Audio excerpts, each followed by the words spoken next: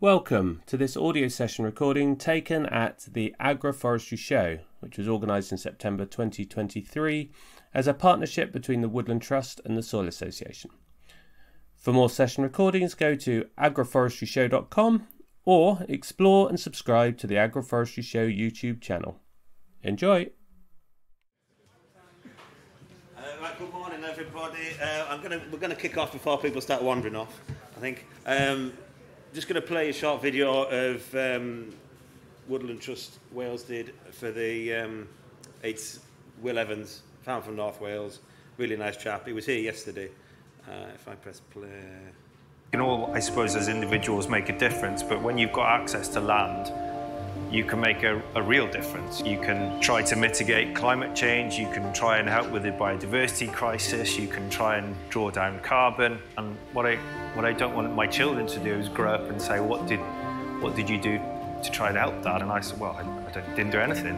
Whereas I thought, if I can make these sort of small differences in the farm and that's the beauty of something like hedges and edges it isn't asking people to do anything massively different it's just very small things that add up to something big. It was an easy win for us uh, and for the environment. It, we didn't have to change any farming practices or do anything radically different. And also I got a huge amount out of it personally as well. When you plant a new hedge it's not just the hedge it's you know, you walk along that hedge behind me now that I planted two years ago, and you see all the butterflies, and then you see the, the field mice that are running around in the bottom, and suddenly we've got owls around. You don't have to be a, an ecological genius to realize the impact that has on, on, on so many different things. Farming is a long-term game. You know, you can't think about what we're going to do next year. You've got to think about what we're doing for the next generation. And if you believe in science and you believe in the way that the world is changing, you've got to start mitigating for that and making plans. We would not have planted all this length of hedge on our own, couldn't have afforded to.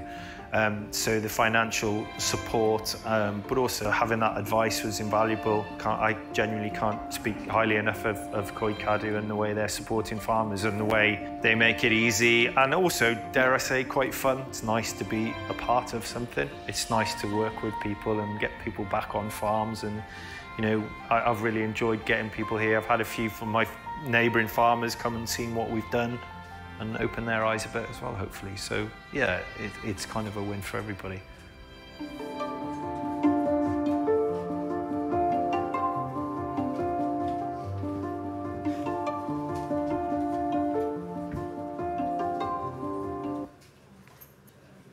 Uh, so good morning everybody and welcome to um, Hedges and Edges and Farmland Tree session.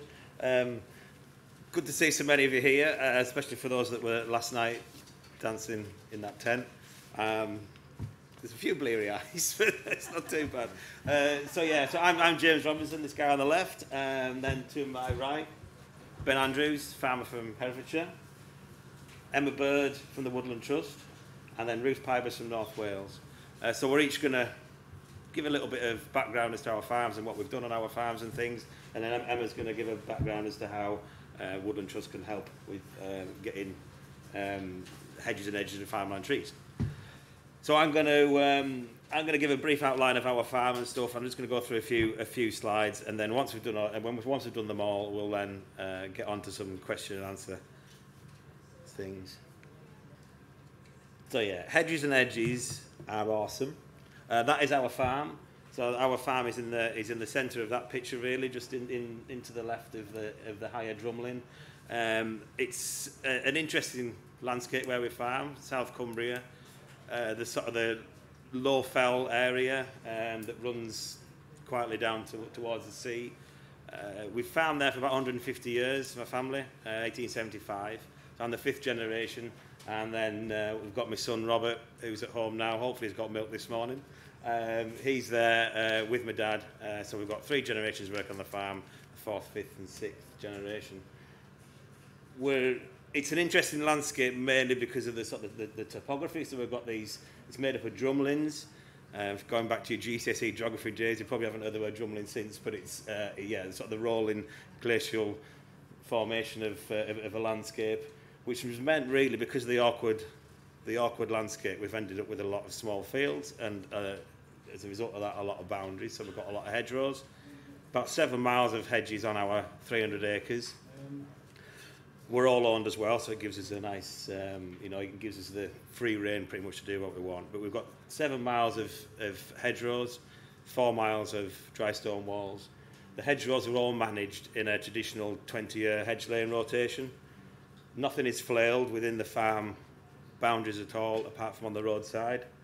So um, we are literally managing them on the same way that they would have done prior to the flail coming, in, the and flail coming in which has meant we've really seen the benefits of wildlife and things. We've started doing, we've started that process really about 30 years ago. Previously to that, we were flailing some interior hedges and then leaving them to hedge lay every now and then. Um, we're lucky that we've got a river running through, we've got a beck running through called St Sunday's Beck, we've got wetland areas, hay meadows, ancient oak woodlands as well, and then we've then created some new ones, which I'll go on to describe it during my presentation. So yeah, so hedges and edges are awesome. And hedges are awesome, but they need management. So this one, this photo on the left, it's um, we bought some land six, five, six years ago, and that hedge hadn't been laid in my dad's lifetime. He could never remember it being been laid. So this this is basically next door to the old bit of the farm. We bought some this land five, six years ago, and that had been probably about 70 years since it had been laid. So every one of those stocks is just a hawthorn stock. Um, every, everything else had died off in between. Stock obviously could just wander through. Hawthorn, the, probably the most resilient of all hedgerow species, um, but even that was starting to die. You can see it's not exactly healthy looking, uh, but um, the way we did re regenerate that was to copy everyone off, um, and I think two thirds of them were already dead anyways by then.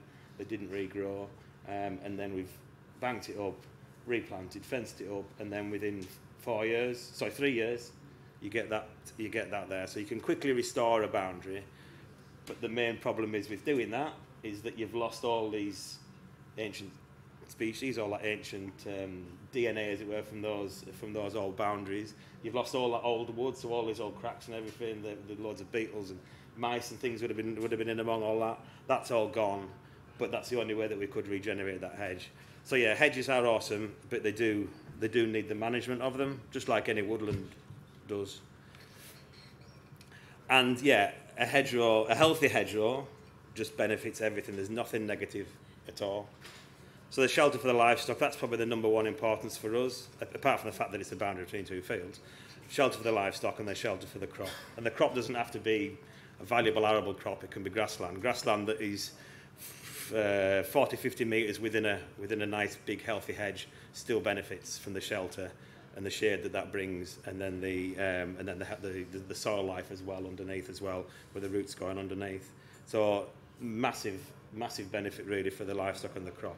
Wildlife corridor without these without these hedges that are linking up all our habitats. that we've got the becks, the woodland, and the and the uh, the hay meadows and such. Um, wildlife can't pass from one to the other, so we're losing we're losing all that genetic diversity um, from within uh, wildlife habitats natural food source as well. So a natural food source for all the wildlife. So the, the amount of stuff that is feeding on that is just absolutely phenomenal. Uh, but then there's also a natural food source for us as well. You know, there's all the nuts and there's all the fruit and things that we can benefit from. Um, one of the most important things for me, I think, is that they are part of our heritage, part of our identity.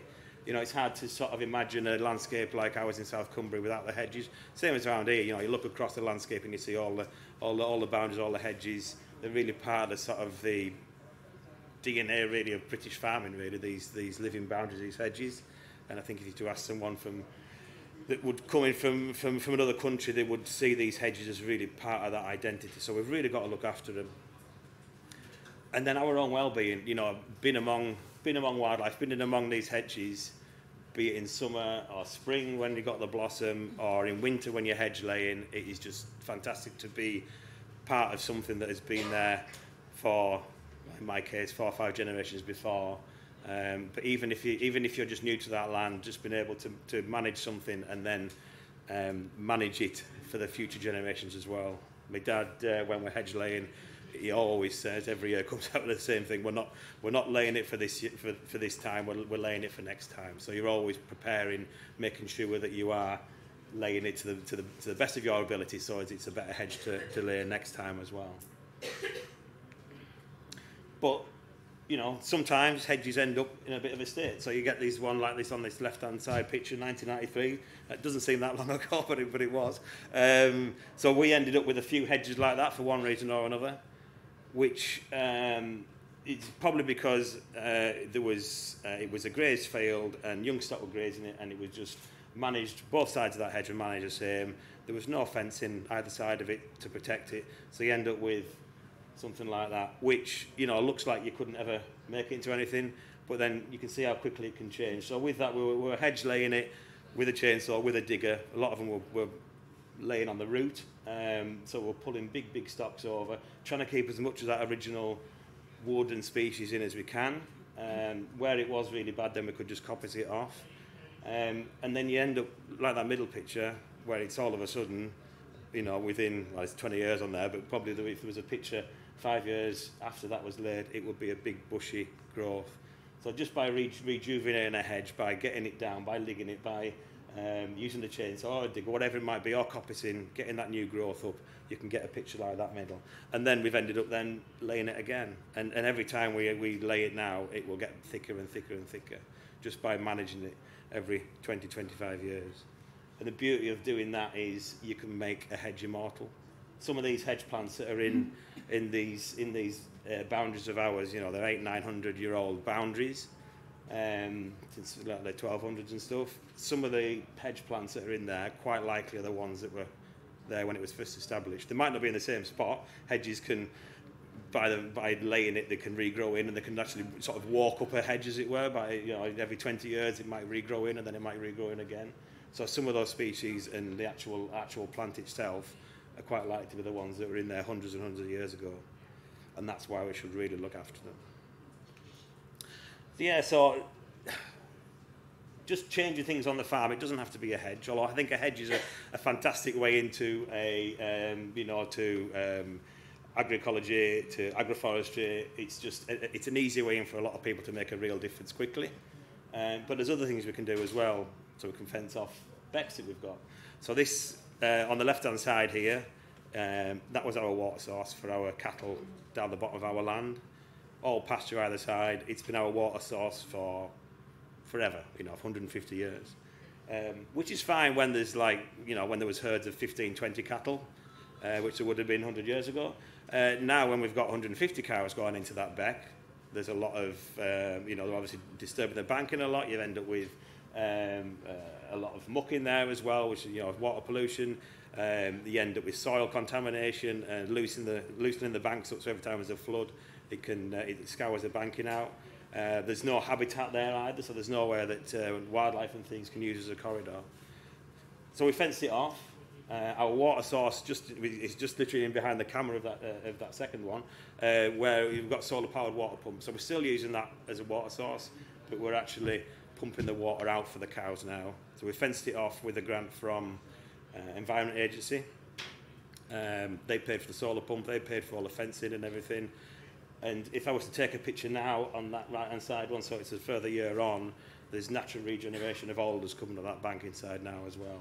We've got um, flowers in there that I've never seen, so like figworts and stuff coming up in there that I've never seen before, just by allowing things to, to grow rather than getting heavily grazed off. It won't be, it perhaps won't be that we're going to fence it off and leave it fenced off for forever. We may end up managing it with cattle. But for probably for the first four or five years, we're just going to leave it fenced off and see what comes. Uh, we're not we're not going to plant any trees in. We're going to see what comes with natural regen. So you can see there's some uh, gorse bushes, some some whin bushes up here. So they'll they'll probably end up coming back down into it a little bit, anyways. And if the river wants, if the beck wants to find its own way in and cut into this side a little bit, move back towards them trees, then we'll just let it. So we've, we've given it enough width to move on this side, which is the lower the lower side. So yeah, so some changes can come quickly. So within a year, we've quickly got that. But then some take, yeah, a generation.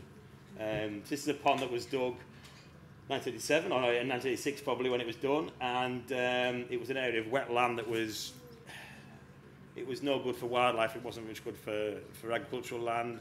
Uh, it was a nice low-lying area next to a beck um, where field drains used to run down towards. It was just somewhere really that was good for fluke and not much else. Um, so fenced it off. Um, my um, granddad's cousin had a um, like big plant, plant and stuff, so he came with a bulldozer. Within a week, they'd got this done. Um, that's my dad doing dad stuff with a drain. I don't know what he's doing.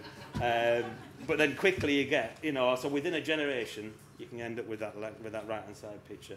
And I and I love showing people. So it's a biggish pond. It's like two acres of water, surrounded with um, six acres of newly planted woodland, uh, which now obviously looks like that right hand side picture.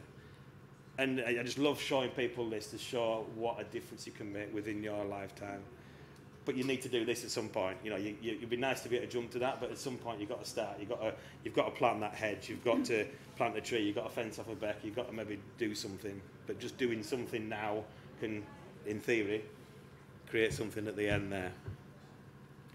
So yeah, some things. So that's me with me. I haven't changed a bit on that. Uh, that's me on my I don't know 10th, 11th birthday party. I've got more hair and less um, less stomach on that. But anyway, um, so that there was where that pond was taken, where Dad was messing about with that drain. So Dad was messing about with that drain sort of just above my head, really. Um, so yeah, it was in an area that was uh, fairly wet, just ordinary pasture, but fenced it off, dug the pond and everything, fenced off where the um, where the where the pond surround was, which also included this beck, and then um, yeah, that was last year. So that's me stood in exactly the same spot, looking exactly the same, uh, apart from the red t-shirt. But you see all this, all this woodland. So a lot of that is natural regeneration that's just come in.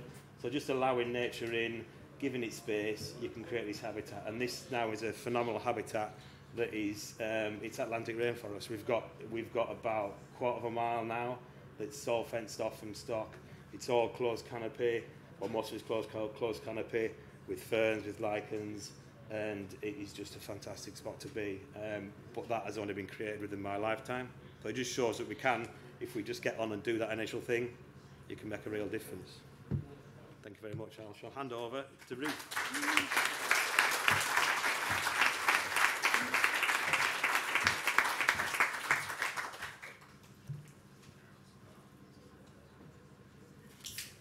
Uh, good morning, everybody. My name is Ruth Pybus, and I'm farming in North Wales. I'm on uh, 70 acres. Uh, 50 acres of that is quite recently planted, mixed, mostly native broadleaf woodland, and it's being managed uh, towards being quality timber, uh, getting into a, a continuous cover system. I'd love to talk about really good woodland establishment. I'd really love to talk about converting brilliantly established woodland into CCF. I'd love to talk about timber. So I can't do that right now. Grab me during the show if those things interest you or take my card and get back in touch because there's just like so much great stuff to know about that. But for today, I'm talking, um, as with the other guys, I'd love to see James Farm. It sounds wonderful. We're talking about the benefits for nature by looking at our, the edges and trees within our, within our holdings. Um, so, On the left there, you can see two pictures of um, the farm where I live. So we're kind of looking across a valley. Um, at the front of the, well, sort of halfway through those pictures, you can see this like obvious conifer tops. So they're on the opposite side of the valley from where we live. And it's uh, at the top of the picture with the house and the lane running through and the fields either side of the house. That's Bronhail Farm. And there it is in 1982, and there's, um, at that time, actually, um, we didn't own the land. We just had a, a house and a little paddock. And um, the rest of the land was part of a big estate, and it was pretty much sheep ranching. And there's some hedges there, but they were mostly fairly gappy. Mostly sheep were getting at them. They were deteriorating, and very little woodland on the farm. Um, by 2013, you can see the picture below. Uh, the hedges have been planted up or been laid. Uh, you can see that we've got, uh, you can still just about see the, house, the farmyard uh, towards the, the right of the picture. And we've kept a, a circle of fields around the farm buildings. But then around that, we've got a circle of, I mean, you could call it a small woodland, you could call it a generous shelter belt. Um, we've got this mostly native broadleaf woodland right around our farm. So the benefits of that. So what we've got, what we've still got is we've got our retained fields, and there's our cows. So we've got um, a really small suckler herd. We've got uh, uh, four um, uh, uh, sort of mixed, sort of not particularly pedigree anything cows, and have about four calves a year.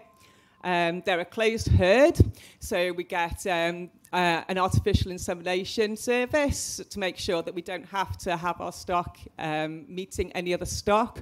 And the fact that we've got now this fantastic boundary, this field, this treed boundary around our fields, mean that our animals don't have any nose-to-nose contact with neighbouring fields and neighbouring livestock. So our neighbouring farmers increasingly are big dairy farmers with big dairy herds, and increasingly they're having TB breakdowns, which you really don't want. So we're feeling like really lucky that we've got this fantastic woodland that's sheltering our our livestock from any disease outbreaks, including TB, but all sorts of other things that might be happening in those more intensive farms with more cattle movement, this sort of thing. And we have loads of badgers, actually, and no TB, fingers crossed. So part, partly our woodlands is giving us really great biosecurity on our farm. Um, the uh, cows there very obediently are in a field and they're eating the hedges. And this is fairly typical. We see when we put our cows into a new field, the first thing they do is they go and have a good chomp around the hedges and they're finding sycamore and willow and wild cherry. They go absolutely mad for wild cherry when the cherries are on the, on the trees. Uh, you can pull a branch down and you get to see how long a cow's tongue is because they're just reaching up. In fact, a, a couple of years ago, I found uh, in the summer, I was like this in the middle of the field. There's this like weird little patch of like cherry seedlings in the middle of the field, and it was where the cows had been chewing cherries the previous year. Left the cow pat, and they'd started germinating. Uh, there they were. Yeah, I love cherries. So yeah, so the cows don't just eat grass, and I think this is something that regenerative farmers are trying to like put out there a lot. We've had this strange thing where you have these like uh, ryegrass and white clover, and the cows eat grass. The cows eat lots of stuff, and they love the hedgerow trees. And there's this fear of taking land out of productivity, but actually, you have a really good hedge, a hedge that's managed in the sort of way that James has been describing. Lots of species allowed to grow out, not getting flails smashed every year and losing all the fruit and the flower and the stuff that was great for wildlife, but also allowing all that lovely lush growth that's just a vertical feeding paradise for your cows, for your livestock. Really important. So hopefully we've got healthier livestock because they've got really great feed and we've got our great biosecurity. So hopefully we've got fewer vets bills. So I was at the, um, the talk yesterday with Sally Ann talking about dung beetles. Fantastic. So um, she was talking about trying to encourage farmers to reduce their use of uh, insecticides, basically biocides, putting biocides into their land, and um, uh, saying really you should you shouldn't be in a situation where you're putting these these you know poisons on your especially not adult cattle. And um, I can say we the last time we put any sort of treatment on a cattle was one animal, and it was in 2007. So this is about having healthy livestock. Instead of, I, I, and I have these conversations in forestry as well, where I do most of my talks, and we get people talking about all these problems that they've got with health and the things that they're having to do to deal with it. And quite often, it's the choices that we've kind of been forced to make, really, by all sorts of circumstances that are put in a situation where we're causing the problems. So actually focusing on health, whether it's in livestock or whether it's in our fields or whether it's in forestry, that's a really good start. And regenerative farming is trying to encourage us and give us the confidence, actually, uh, to be brave enough to do things differently so that we can do healthy farming systems. Yeah, so as well as um, biosecurity, obviously those fields are giving us loads of shelter from our livestock. Um, if you look at the bottom photograph, uh, the furthest field you can see within the trees over the top there is where the northerly winds are coming from. So there's that lovely shelter from the northerly winds, from the worst of the winter weather. Um, in the hot weather, it's been really noticeable where the animals are. The animals are in the shade of whichever of those great hedges or that woodland edge is, is keeping them off the sun. And if you go into our neighbours' fields, who haven't been quite so enthusiastic about their hedges and woodlands, their livestock is in the shade of our hedges too, if they can, if they can get it. So we're kind of all increasingly, hopefully, aware that we're living in a climate catastrophe and a biodiversity crisis these things aren't newly known about. Rachel Carson was talking about um, biodiversity poisons getting right around the, the globe in the 1960s. The original research that showed that climate change was a thing that was caused by us burning fossil fuels was research that was which was um, commissioned by ExxonMobil, by one of the biggest uh, petrochemical countries. Again, back in the 70s, this stuff has been known about for years. We've been allowing this to happen for years. We've been walking into this complete death trap for years. We're finally waking up. It's maybe 30, 40 years too late to make it easy. This is going to be painful, but we need to do something about changing what we think normal is to try and achieve that health. And the first thing we have to do, which is really painful, is to admit to ourselves that our land isn't healthy. Our land is in a really bad state. We've been putting poisons on it, we've been ploughing it, we've been maybe uh, pushed by all sorts of reasons bureaucratic reasons, financial reasons, peer pressure reasons to do things that really weren't great. Actually, things that weren't farming decisions or forestry decisions, things that were um, bureaucracies wanting to make management of land easy for the bureaucracy. You know, we're talking a lot about. Um, here's a field and here's a tree, and we have farmers in conflict with forestry because these are two separate things, obviously. Well, no, they weren't separate things, but bureaucratically, it's much easier if you've got a field parcel and you can call that grassland and you get your grass codes, don't you, if you're in the farming industry?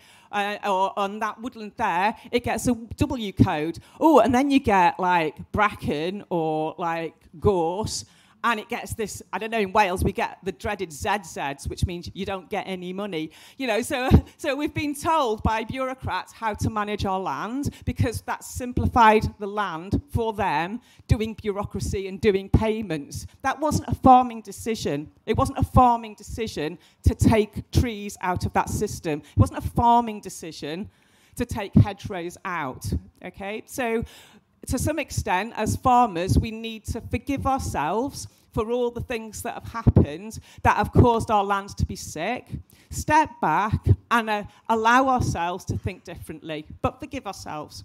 And we also need to be aware that we're hugely um, visible to our neighbours, and our neighbours are hugely visible for us, and that there's a lot of judgment and peer pressure within our farming communities, and that makes it really difficult to change. There are certain basic ideas that have been hard grained. Untidy hedge. I bet James has neighbours who said, That James, aren't his hedges a mess? Yeah? People will say that. I'm sure my neighbours think my fields are horrendous. I'm massively understocked, obviously. Okay, so, uh, so we have a real problem, not just we, we need to recognize our land isn't healthy, we need to forgive ourselves for our past, we need to be resilient around the what our neighbours think of us and also be ready to see positive things that our neighbours are doing and be vocal about that to give them permission to think and do things differently. So here's healthy land. How do we recognize our land is healthy? Well, basically, we have loads of wildlife. So that's stuff that actually I put my hands up 10, 15 years ago. I felt a little bit nervous about talking about biodiversity because it was a little bit unserious and fluffy, and I like to think I'm very practical and pragmatic. Actually, this isn't fluffy stuff on the side, the way it's been put out there as you either get your basic payment or you can go into this other sort of farming where you get an agri-environment scheme. Actually, this this is the health that underpins our healthy farming and forestry systems. And we need to start allowing ourselves to get really excited about the fluffy stuff. And the more, the more diversity we get, the better. We, the one thing that's very sick about our land is that it's been farmed or forested in very uniform ways. And what that does is means we don't have diversity. We don't have ecological diversity. If you have anybody giving you advice about how to manage your land and they're telling you what you need to do to deal with climate change is plant X sort of tree or do this sort of farming system across your site, then hold their advice with massive, massive suspicion. Because what you need to be doing on your holding is getting a diversity of landscape things going on, a diversity of foods being grown, a diversity of habitats, a diversity of products coming off, a diversity of jobs being created on your farm, because diversity is where we get resilience. Nobody can predict how the future is going to impact us, and the only way you can have um, some hope of dealing with what's going to hit you in the future is having diversity on your farm. It's the opposite of the way we've been taught to farm. So there's some of my diversity. I want there to be loads more. Oh, dung beetles. And it's worked. Look. Oh, there's one up there. Oh, there you go. I got some dung beetles on film and it worked. So this is the other thing, healthy communities. So um, I'm on 20 hectares of woodland. That's tiny. Because my woodland is really well managed, it's really diverse, the quality of the trees is really high. At 26 years old, we're already getting timber out to be planked. We've got too much work, my partner and I. We want to diversify this 20 hectare holding by getting more people on working on it. So this is about diversifying our rural communities. Our rural communities need not be uh, about a few monster farms and then a kind of a gentrified sort of leisure sort of retirement village. That is not a healthy, diverse community. We need to get young people on our farms, and we, we're doing a diversity of things with different products. Here, uh, bottom right, I haven't been told to whiz on. Bottom right is our um, uh, new to come bit of diversity on our farm. Uh, that piece of ecology is called Harriet Jenkins. Uh, she's 29 years old. She's going to be working with us starting October thanks to an RFS, Royal Forestry Society Forestry Roots Scheme. She's mad keen to learn how we do our forestry and to learn how to make different timber products. She thinks she's only staying for a year. and she's going to be living in that little cabin in our woods, which um, some of the timber has come from uh, sawmill. Some of um, uh, imported, but a lot of the timber in that little cabin has come from the thinnings from a well-managed 26-year-old woodland including ash and cherry, and it is a wonder to behold. So um, I, I, got a bit distressed like yesterday to hear people talking about getting trees on their farms and it being about not being too much work. And I think really that says more about um, the confidence of farmers to get into forestry and visualize what that's for than um, being about a lack of enthusiasm. I want to enthuse people to say that having a permanent, productive, quality resource is going to be brilliant for your community. So there you go, healthy farmers. She really wants me to stop. Yeah, okay. Here, really great organisations to get beyond any negativity and isolation in your community. Nature Friendly Farming Network, absolutely fantastic organisation. Land Workers Alliance, young people enthusiastic about getting their hands dirty, not afraid of work, understand the land, really wanting to learn like harness that resource. Ancient Tree Inventory, I've noticed they put some books out. I found like I, I have really been mentally ill on my farm, desperate about climate change and community and all this sort of thing. Uh, one thing I've done is like managed to find ways of just enjoying what's on my farm and the knowledge and the ancient um, woodland inventory stuff on the on the woodland um, trust site is absolutely magic. Find your and find and love your ancient trees. Uh, likewise, big butterfly count. Find out where your butterflies are. Do you know what? They're on the ragwort and the creeping thistle and the bramble. Learn to love them. Um, the Merlin Bird ID, discovered that app. Absolutely fantastic. You point it in the spring at your dawn chorus and it's telling you all what's in there. And it just lets you take a break from feeling overworked, anxious, desperate, and just say, here's what's beautiful in my farm. And then you can work to make it even better. So then, for the health of your livestock, your land, your community, yourself, your planet, embrace trees on farms. It is what's missing. Thank you very much.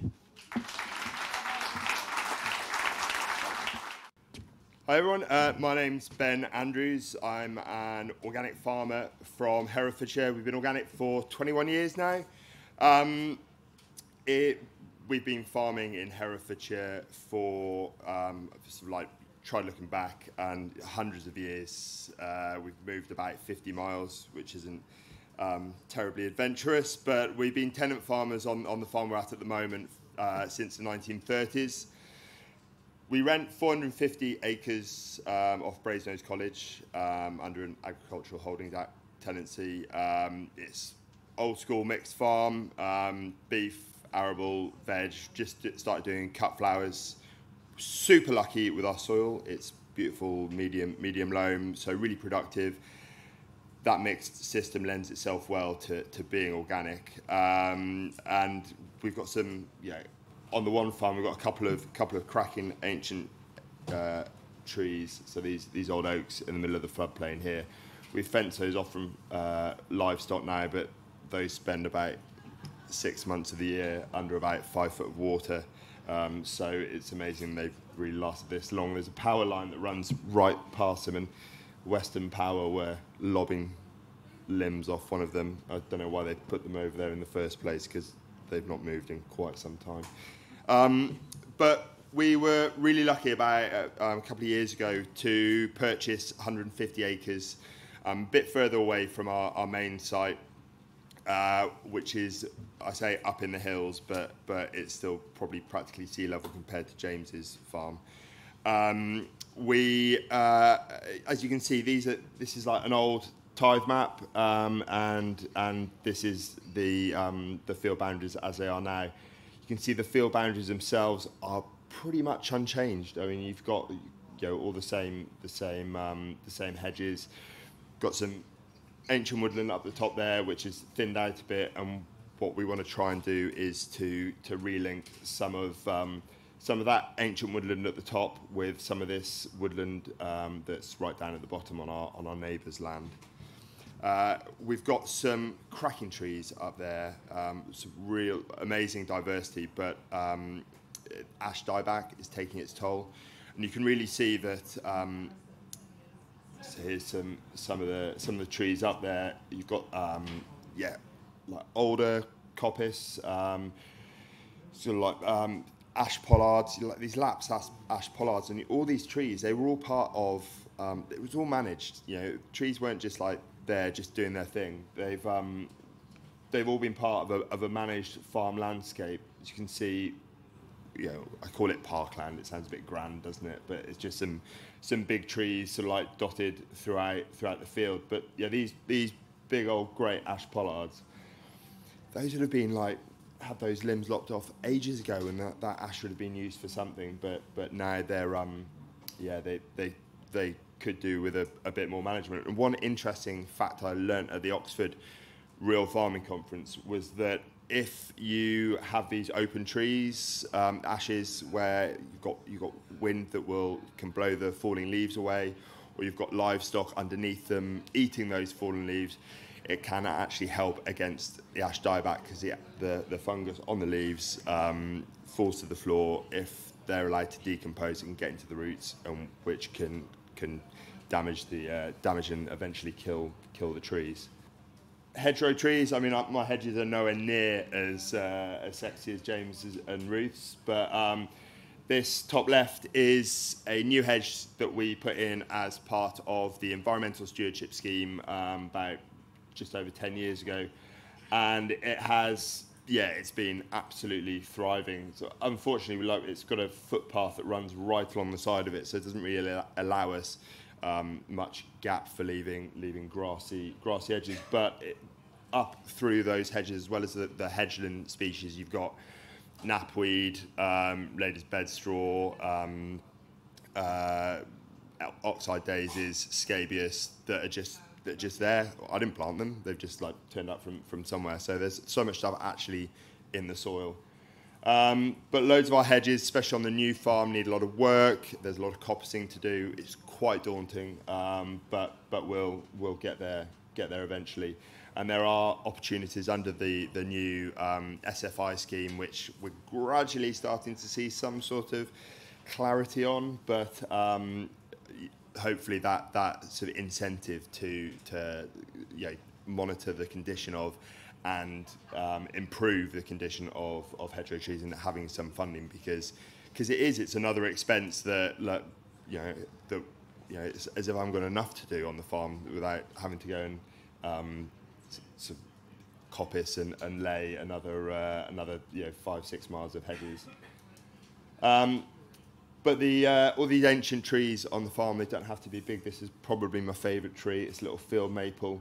Um, I think one of the best things about integrating livestock into into um, sort of woodland and and and so, yeah the cows and trees agroforestry is the way in which the the stock will um, they'll browse and lift the uh, the skirts of the trees allows a little bit more light in underneath and just helps to, to improve the uh, like the, the, the shape of them. Um, but what I mainly wanted to talk about is the the life um, that we see in the trees. Now I um, I didn't know anything about birds until about three four years ago, and then COVID happened, and I was walking around the farm, and I realised I didn't actually know what any of the birds were. I knew that we were I knew that we were we were doing this all this stuff for, for birds, but I, I genuinely couldn't tell the difference between a like a, a hedge a hedge like you know a normal sparrow and a and a, a you know a house sparrow and a tree sparrow or a um, didn't know what a linnet was. I mean, like I'd heard of them. I knew we were doing this wild birdseed mix for linnets, but I mean, like, what's it? What, what does it actually look like? So I got. I'd always been into photography got a longer lens, started taking photos, and then going back to um, to the house, load them onto the computer, open the RSPB bird book that I'd had since I was about five, and tried identifying some of the birds. And it's um, it's really satisfying to see that you know, when you look them up on the RSPB website, to see how many red list species there are, and it really starts to, to concern you to realise, you know, these these birds, you know, these were once in my bird book, they were not down as red list species of birds 30 odd years ago, but now they're seriously declining, and, and you know, you've got to you've got to realise that you know there are some birds that rely very much on certain types of tree, like these um, lesser redpoll and the siskins up here. I love the alder. They're, always always in it, um, and just like chatting away there. I don't know if they're having a fight or whether they're just like you know chewing the cud or whatever. But um, and then uh, uh, yeah, and then chiffchaffs, just like just we've got little little um, willow all the way down the all the way down the riverbanks. They're constantly chattering away in there. Um, and you've got birds that use it for different things. So you've got you've got tree creepers. Um, they'll just be like just desperately trying to find find some snacks in that in that in that bark. Got a buzzard that just so lazy. People like, people worrying that buzzards are gonna like take all the, the small birds. You know, they don't really want to get anything faster moving than an earthworm. Um, but he's just like just biding his time, waiting. And then probably one of my favourites, um, the, uh, the, the spotted flycatcher. Um, he they love um, woodland glade areas, so we've got a little family of them in our in our one um, woodland, and there's nothing I like more than just going and sitting on a log and just watching, um, just watching them fly around. And they're, they're, they're not that nervous, and they'll get quite close. Um, and it's yeah, again, really satisfying to see. And then better killer over there, sparrowhawk. Um, incredible watching those, watching those in uh, in flight. So one catch a pigeon, take a pigeon down out of midair, and it's yeah, it's incredible. Um, so more birds. Uh, yeah, more pictures of birds relying on hedges, trees, um, little stone chat, bullfinches, all these things that yeah, fieldfares. Like I didn't realise. Yeah, fieldfares. I thought they yeah, fieldfares, redwings, thrushes.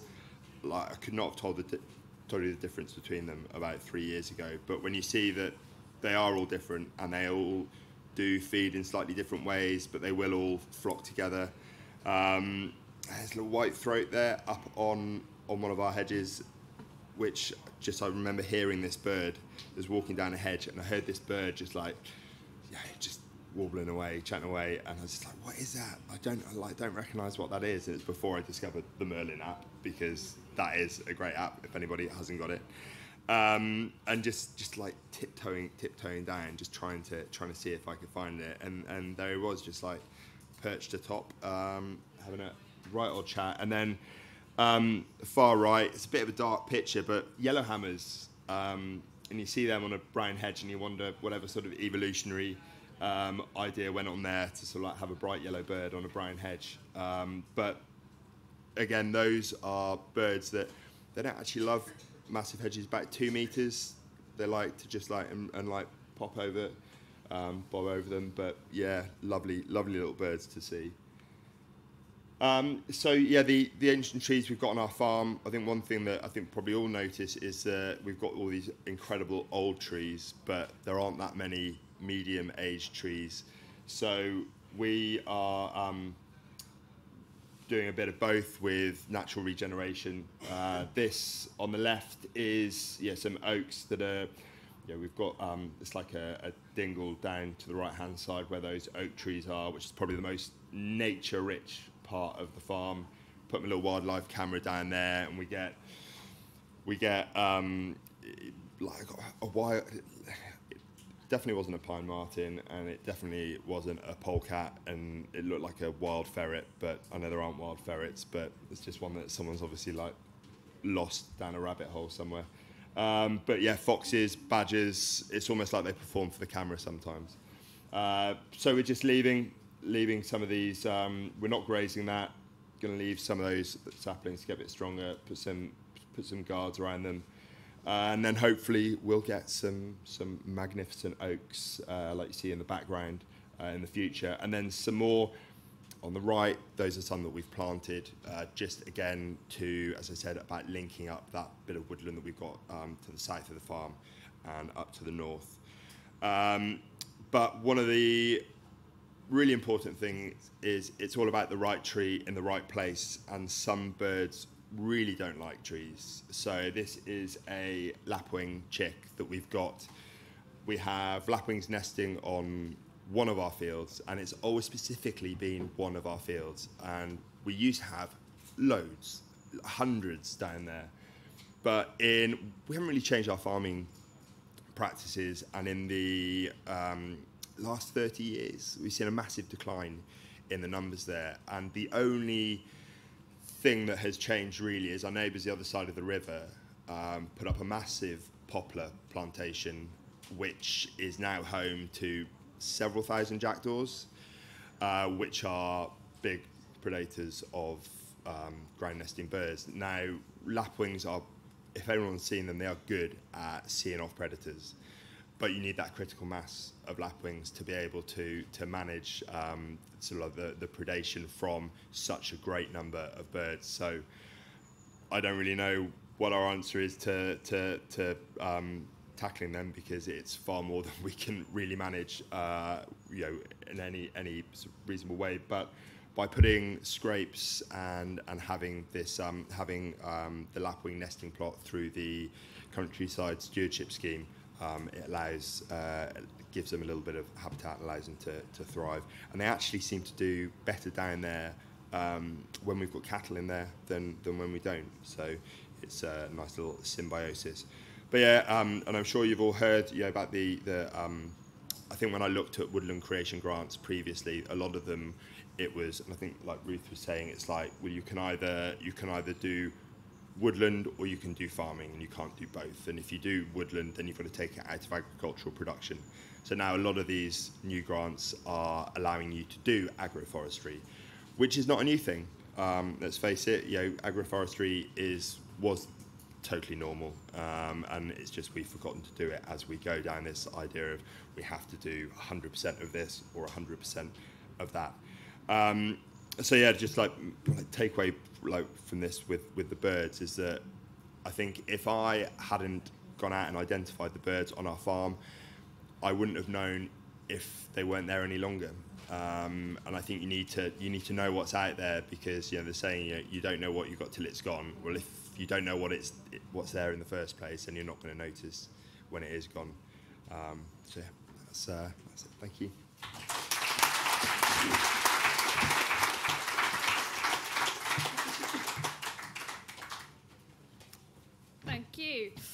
Uh, everybody. Uh, I am Emma Bird. I am uh, agroforestry project manager for the Woodland Trust. Um, I don't own a farm. I don't live on a farm, um, but I cover the whole of the UK with my role.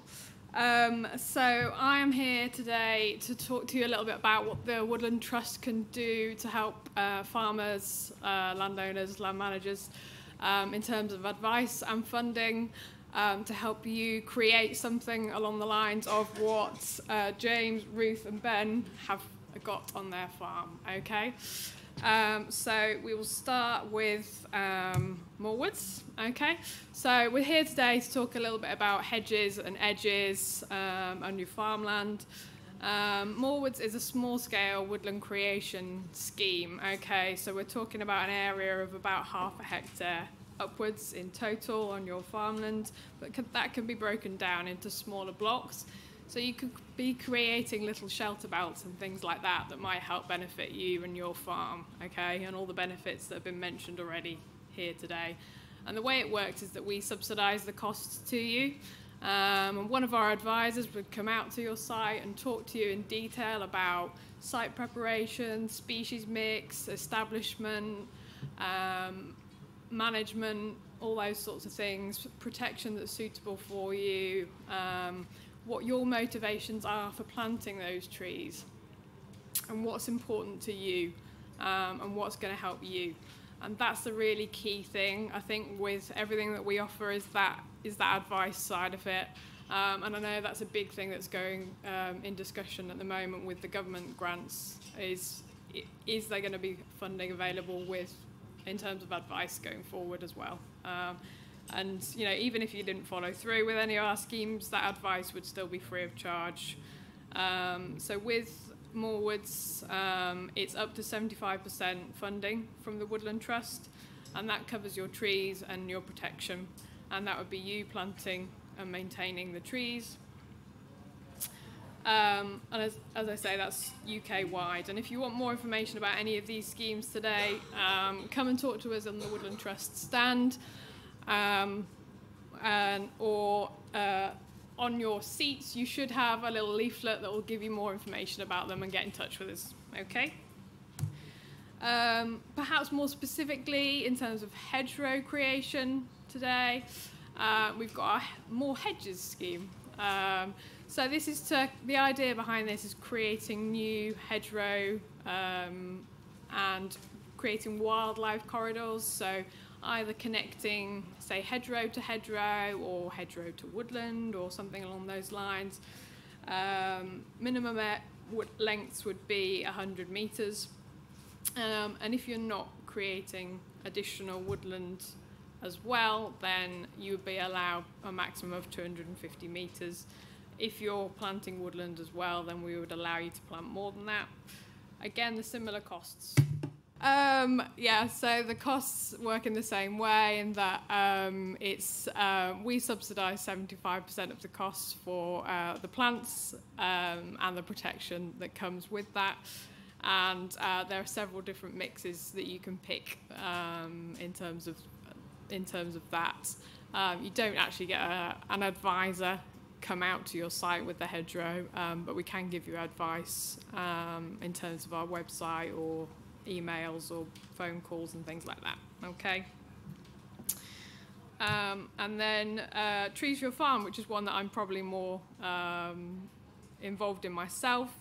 So this is a kind of more um, innovative um, agroforestry scheme. Um, it's more competitive, and this is about the complete integration of um, the trees and your farming system together. So whether it be a kind of silvo-arable system or a silvo-pastoral system, it can be all sorts of things. We've we've seen all sorts of weird and wonderful designs across the 10 years that we've been doing this funding now. Um, and it might it's the idea is that it's a commercial always a commercial farm and that you're demonstrating both environmental and economic benefits. Um, it might purely be something like a riparian scheme, um, planting for um, ammonia emissions, or it might be that you're planting strips of um, apple trees in the middle of an arable field, something along those lines. Um, so, um, and we have a design clinic um, which is located between the Woodland Trust and the Soil Association here today. And if you wanted to speak in more detail, uh, if you had any ideas about uh, what you might want to do on your farm, because these some of these agroforestry schemes are a little bit more complex, then you can sign up for a slot to talk specifically about that. Um, hedgerows and woodland creation can be a little bit more simpler, but again, if you wanted to talk about those, you'd be more than welcome to sign up for a slot at the design clinic as well. Uh, all of these are in the leaflets on your seats, um, and yeah, by all means, come and chat to um, us on our stand about them, um, or or get in touch with us. The details, as I say, are in the leaflet. Um, that was a quick whiz through from me because I think it's very much more important that you talk to our speakers. So I'll hand over to James now for the Q&A. All right, thank you.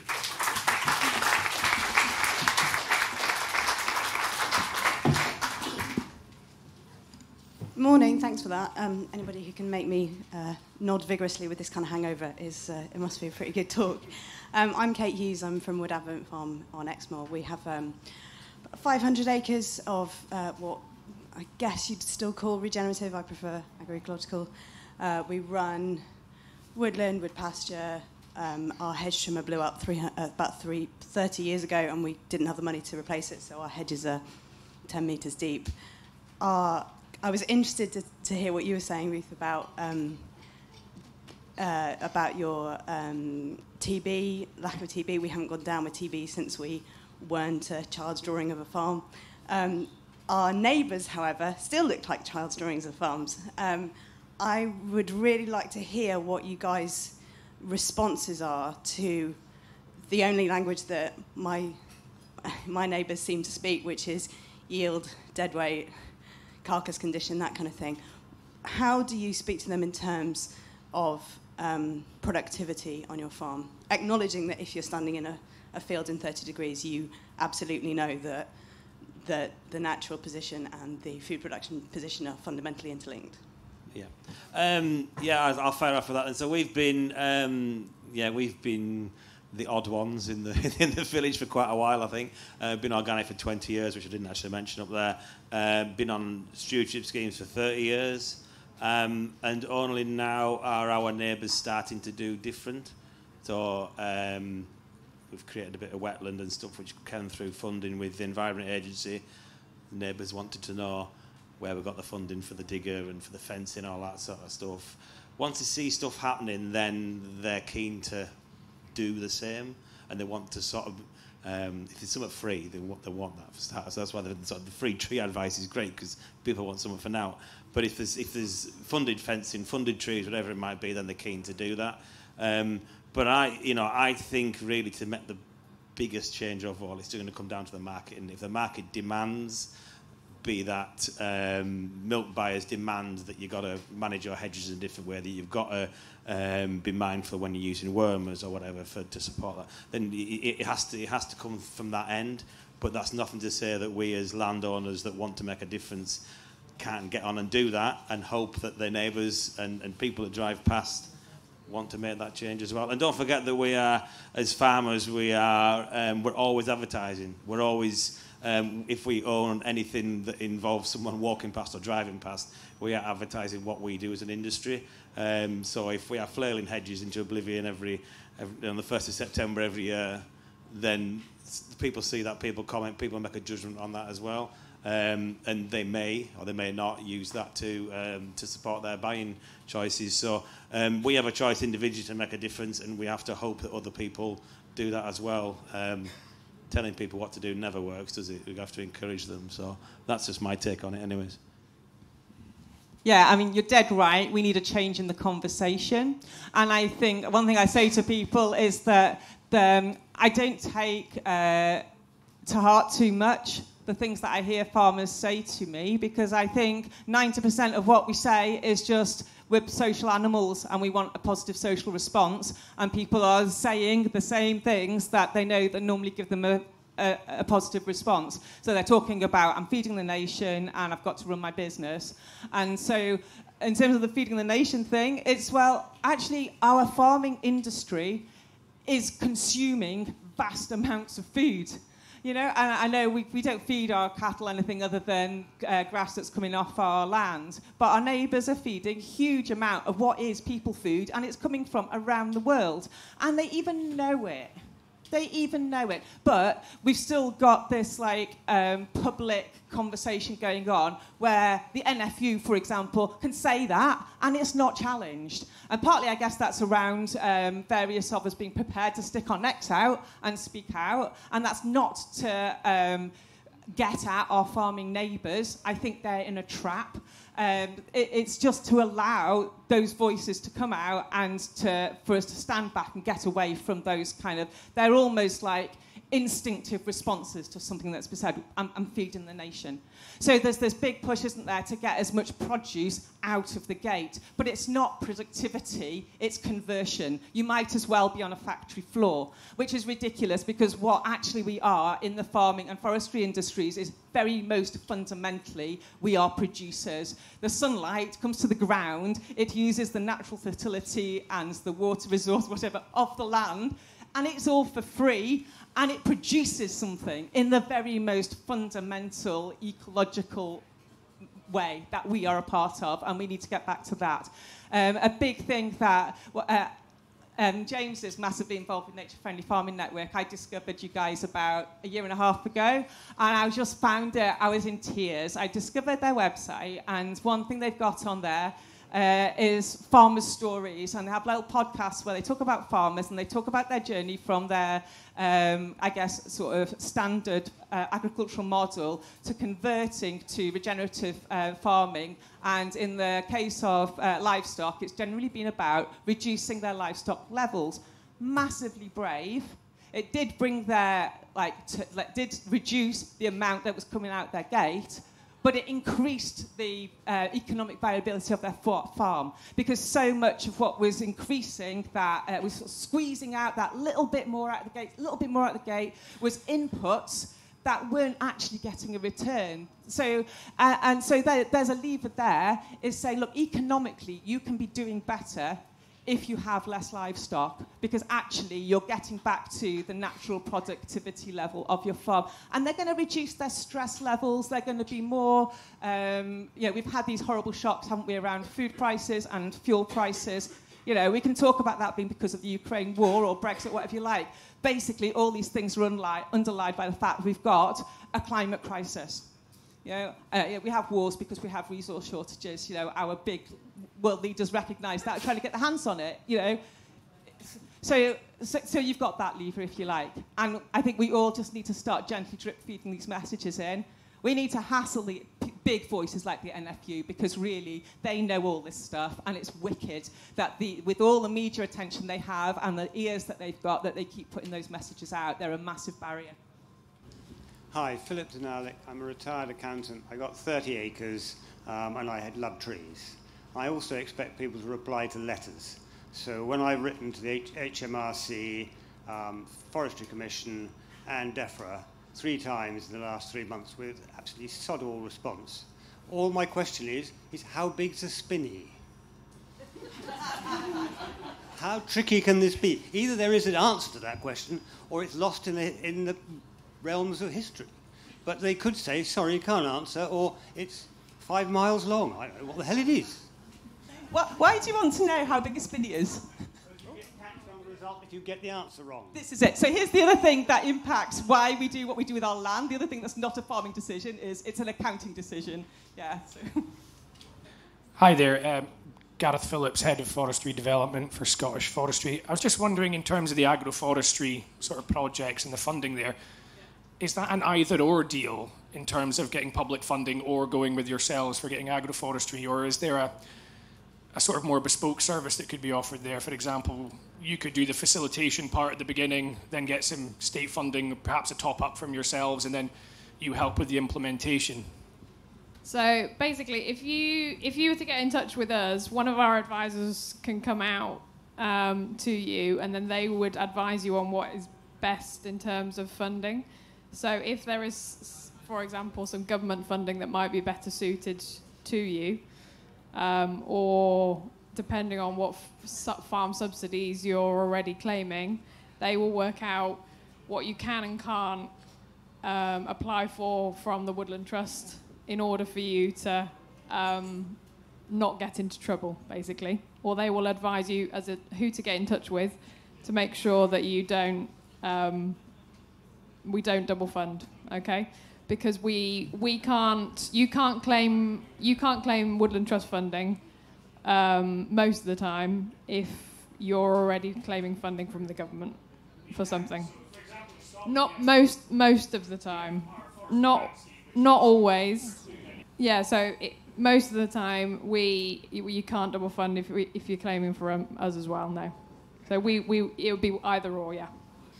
Um, yeah, I was just wondering with the hedge laying, particularly on your farm, James, where it's been going on for quite a while, whether it's you and your family and people on the farm that are doing the laying, or whether you're getting contractors in uh, to do that, and whether it's just off your own back uh, time-wise, or whether it's paid for work.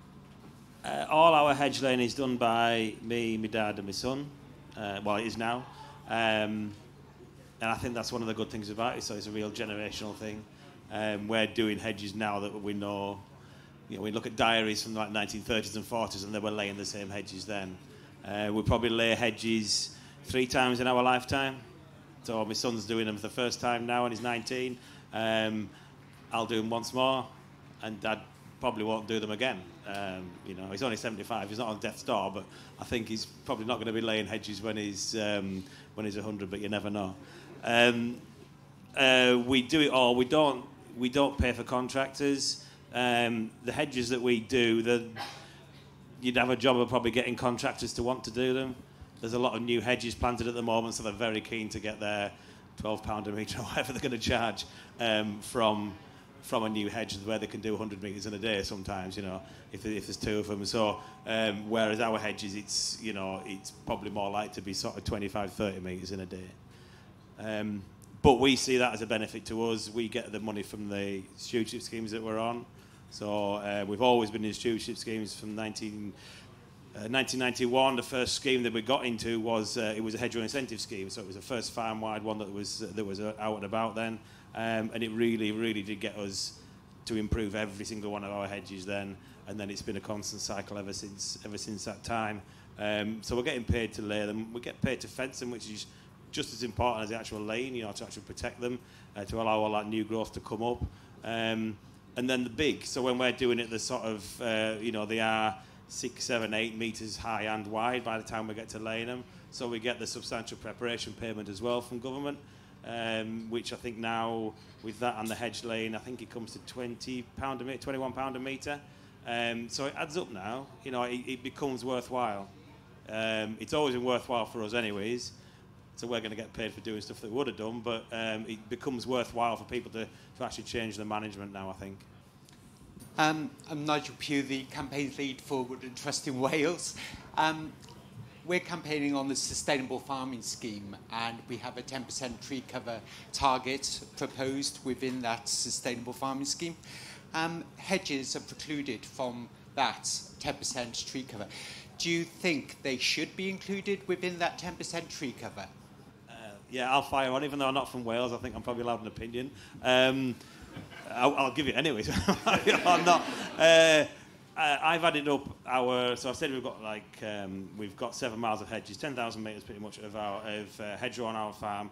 If you were to lay them all side by side across a field, as it were, touching, I think it's about 11 or 12 acres of hedge, of canopy of cover that we've got. Um, so we're about three to 40 percent of our farm is you know, if you want to call it tree cover, is tree cover just some hedges alone. And if the Welsh government want to get trees on fire and they want to improve improve the actual tree cover, I think number one would be to include hedges, because you know to improve the management of hedges, anyways. So if you allow them to grow big and you allow them to grow bushy, you're, you're, and you're managing them in that in, in that correct way, then why shouldn't it? I just it just seems a bizarre. Quality of Yeah, absolutely, absolutely. Not a flailed thing that's a, you know, that's about two foot high and is all gappy and and and uh, and just just smashed wood every year.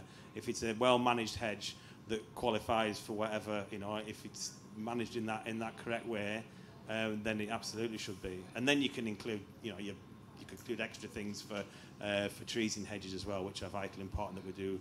Uh, but yeah, that's just my opinion from over the from over the border.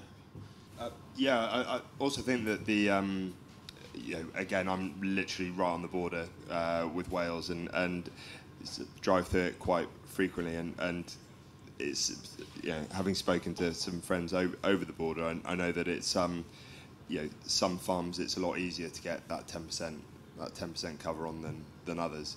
Um, so, as James said, I think the quality of a hedge, I think a good quality hedge is always going to be far more beneficial than um, putting in a load of trees and then not being maybe maintained terribly well and just paying lip service to a to a box ticking exercise. And I also think it's like it's an easy way in.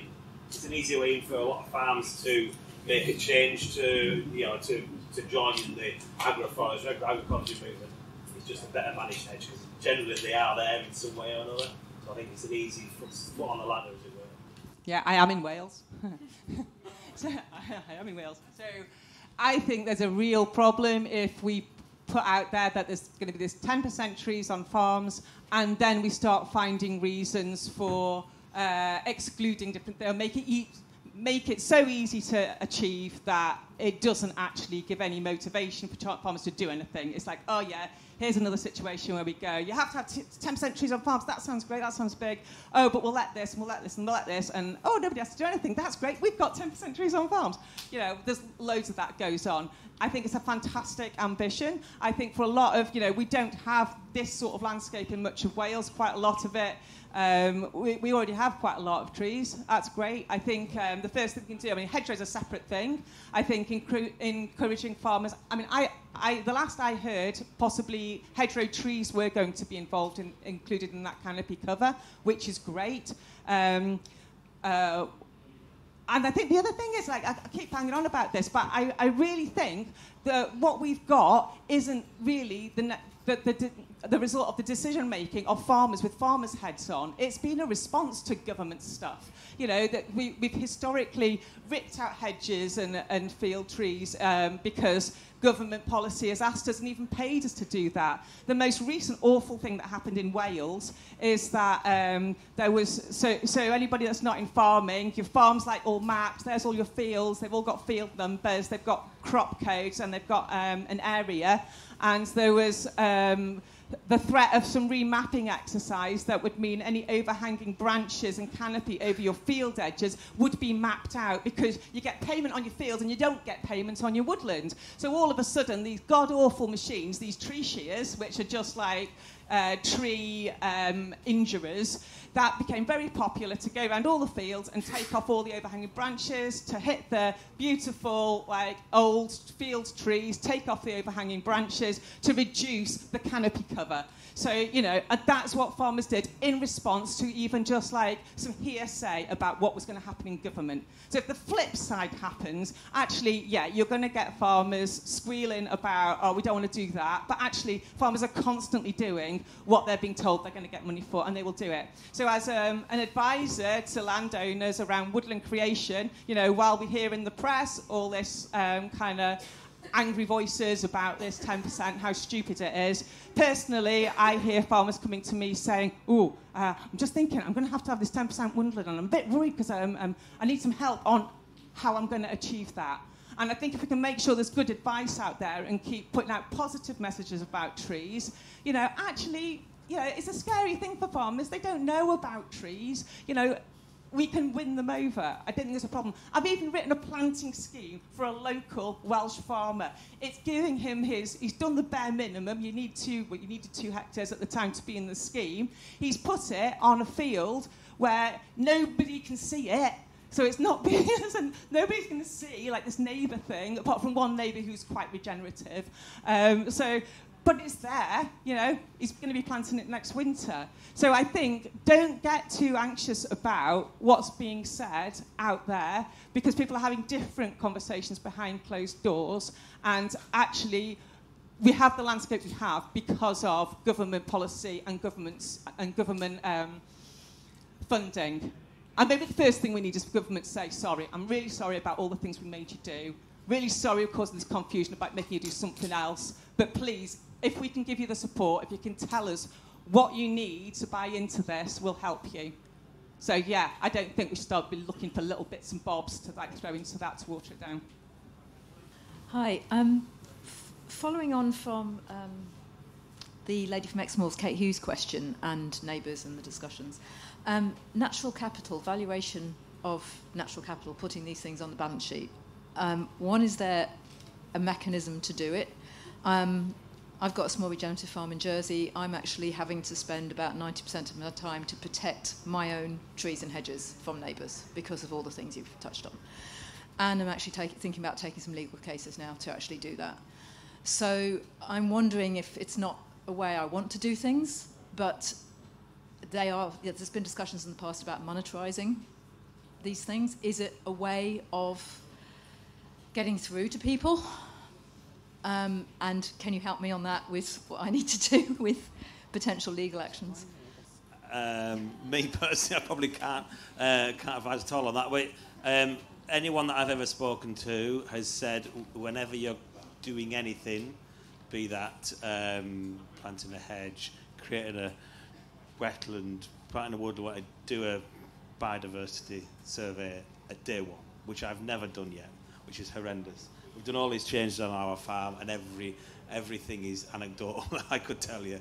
Um, so yeah, day one, find out what's there, and then you can at least show improvements. Because there's a chance, and it maybe is just a chance that biodiversity credits payments can be backdated. You know, so if you can show that you have done X in the last three years, um, you've got I don't know five more pair of lapwings nesting. You've uh, you've got X amount of, um, of carbon stored within trees, whatever it might be, you can, you know, you can at least show that. So yeah, biodiversity survey, and but getting people on farm to do that is potentially expensive, but there's plenty of groups that are just so willing to come onto farms, isn't there? You know, using local groups of the local knowledge. Um, but yeah, it's that that is number one that I would say that I still haven't even done on our own farm yet, which is awful. Because I just want to, I'm always impatient. I just want to get on and do so I don't wait for stuff. Um, I just make the change and do it. Um, but I'm afraid I can't answer anything else, unfortunately, unless someone else wants to find. I mean, it's always a, a, a bit of a dangerous. Um, yeah, I'm, I'm quite sceptical about these natural capital um, and payments and biodiversity net gain things. It just feels a little bit like um, almost a little bit like greenwashing and and um, and, and sort of saying, saying, well, it's okay, we can do this over here because someone else has planted a tree somewhere else. Um, it would be great if we just stopped doing all the shit that messes stuff up and just did the good stuff. Um, so, and I, I think, yeah, you can get down that slippery slope where, and I'm sure, like in Wales, there's been a lot of talk about big um, companies buying up vast swathes of, of land just to just to plant up with trees, which then like displaces farmers from um, uh, from, from from where they are. So so the the, the concept of, of doing it was it, it like it's it, it's one of those Pandora's box situations where as soon as you start going down that that route, it's like do we um, you know put put conditions on it or whatever. But I think another one of the things is it's so hard to measure a lot of these things. And I don't think, I think there are so many different um, organisations measuring these things. And I don't think anybody's, there's no, no, I don't think there's one, especially with carbon, I don't think there's one standardised idea of, of what, um, of how much carbon is being stored. And some people say it's being grossly underestimated, some people say it's being grossly overestimated. So it's, um, yeah, I, th- I think, I, yeah, I think it's, uh, it's a shame, isn't it, that people can't just do it do good things because it's and, and, I think what Ruth was saying about how it how actually persuading people that by being a little less intensive you can actually be more productive. Um, and, and one of our big things being organic is being is being more resilient. And if we can show people that that by being less intensive, by not having to buy bagged fertilizer, by not having to buy imported feed, we're actually, you know, we can actually reduce our, you know, massively increase our, our margins. I mean, I've been really smug just seeing like everyone have a complete breakdown over the cost of fertilizer in the last couple of years because um, we haven't bought any in like 20 odd years. I mean, we've just got muck from the cattle and that goes on the veg ground. Um, so I think it's like, yeah, encouraging people to to just do the good thing, not just for nature, but actually convincing them that it's it's good for their good for their bank balance. That's kind of like roundabout kind of. Obviously, you guys are all really passionate about nature, and I was just wondering, like, what is it that was there something that started it for you, or obviously you're talking about COVID, Ben and the birds, but was it before then? What is it that makes you guys do what you do? Yeah, I, th- I think you've got to be a bit of a a bit of a psychopath not to stand in a field and look at a nice old tree and go, wow, that's a nice tree. To, to, to look at a tree and go, well, that's just getting in the way of my plough. Um, it just seems a bit, and I know there is that obsession, like, and, and both um, Ruth and James have touched on it, that, that obsession with tidiness. And my mum's the same. My mum, like, she hates us being organic because she'd love to be out there with a knapsack around Roundup. Um, but uh, but no, it's just like no, you can't. You like if you want to if you want to get rid of that ragwort out of your pony paddock, you can pull it by hand. Um, um, so uh, so yeah, I am like that joy, and as Ruth was saying as well about the the like the mental health benefits of of doing it, and when you start to see the improvements little changes can make and how fast nature can can come back, it's it's quite addictive, and and I think that that is, um, you know, I, yeah, I'm probably not the probably not the richest farm, probably not the most like you know. Um, you know, successful on, on, in terms of gross margins, but but I take the way that we do it any day over uh, over profit. Yeah, okay. Um, to get back to your question, um, to talk, I guess the one thing I have got some experience of is kind of local campaigning. So you're probably doing this already, but keeping really good records of um, interactions with people when you're trying to sort something out, especially if I end up talking to somebody on the phone or face to face, I'll follow up with an email with a rundown of what's been said um, so that there's a paper record. Um, I've had combats with National Grid around just sending people in and chopping up my very beautifully managed woodland. I've had combats with neighbours doing illegal fells. I've had combats with neighbours on FSC not managing their deer on a landscape scale level. Um, I started off with those sorts of campaigns, going softly, gently, and surely the bureaucracy will catch up and everything will go right. I've realised that doesn't work, and what I need to do is hit hard, otherwise I waste a lot of my energy. So if something goes wrong and I know somebody's just you know, something illegal. I get in touch with them. I get in touch with all the other, you know, responsible land managers. I get in touch with the local press, my assembly member, my MP. I just spaff it out there on everybody, and it forces a response, and it works, and it saves a lot of your energy. It's still a lot of energy. Um, the other thing I've done is just we've made ourselves very high profile.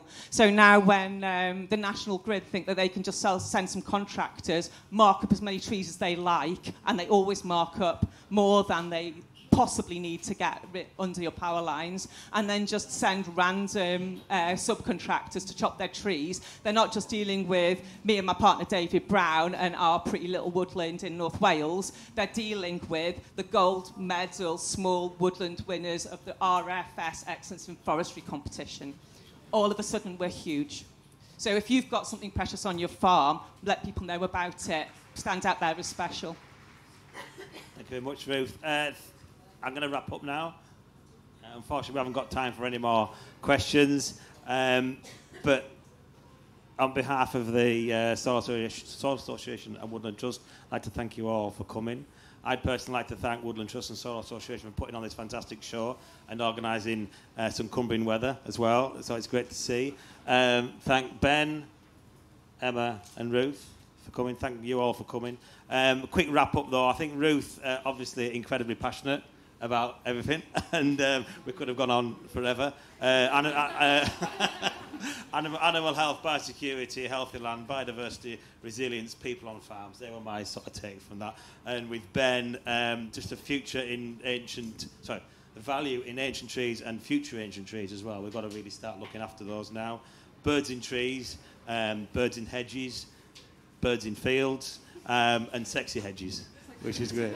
uh, and thank you very much, Emma, as well, for giving us that. Um, and for me, I think just the, the general the general thing really from, from this and from, from my sort of time within nature friendly farming community really is that I'd, I'd actually put I put it in a couple of days ago into that chat GPT thing why is nature friendly farming good for humankind it came up with all the stuff that we've talked about it came up with biodiversity with Uh, climate solutions, all the sort of usual stuff. But the one thing that it missed out, and it's the one thing that, that computers and AI can't do, is that it makes us happy. It makes us happy as farmers to be able to get out there and do stuff on the land. So if nothing else works, just do it to make yourself happy.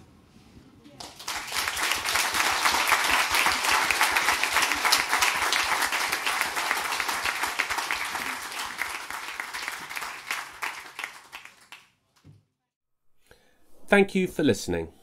We'd like to thank our lead sponsor, Sainsbury's, and our other major sponsors, Farmers Weekly Transition, Forestry Commission, and Tilhill, and all the attendees for making this show such an overwhelming success. To get advice and support for your agroforestry project, either visit woodlandtrust.org.uk forward slash plant or soilassociation.org forward slash agroforestry.